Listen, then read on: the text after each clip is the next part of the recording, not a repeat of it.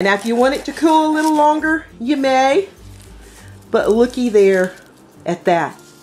That is absolutely going to be fantastic. Mmm, gotta give it a try.